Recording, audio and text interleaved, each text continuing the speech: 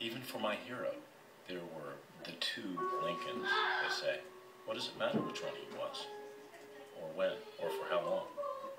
Whichever one is written about, the end justifies the means, and most importantly, the world remembers the hero.